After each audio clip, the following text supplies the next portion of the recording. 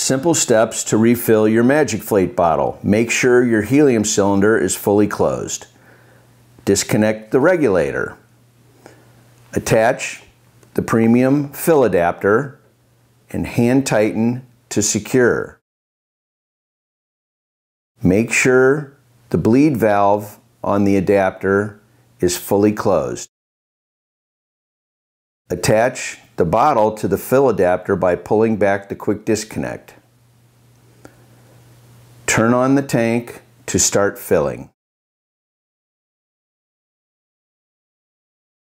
When the pressure gauge stops, the tank is full. Now turn off the main tank. Then open the bleed valve to let the excess helium out. Detach the bottle and you're all done.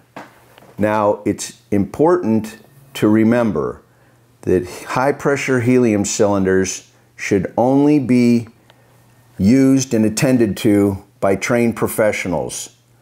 So always be careful when dealing with these high pressure cylinders.